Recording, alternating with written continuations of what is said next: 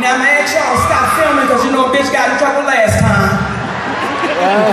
so I'm gonna ask y'all to put your motherfucking cameras away because right now this is just between me and y'all niggas. Do you hear me?